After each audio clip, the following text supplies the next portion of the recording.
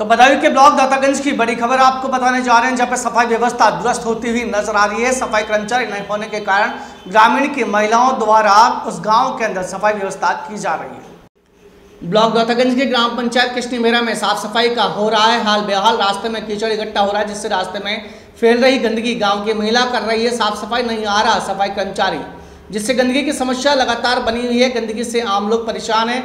ग्राम प्रधान व सचिव यह भी गाँव की तरफ़ नहीं दे पा रहे हैं। कोई ध्यान सफ़ाई कर्मचारियों की हो रही लापरवाही के कारण, साफ़ सफ़ाई न होने के कारण सफ़ाई व्यवस्था चरमरा गई।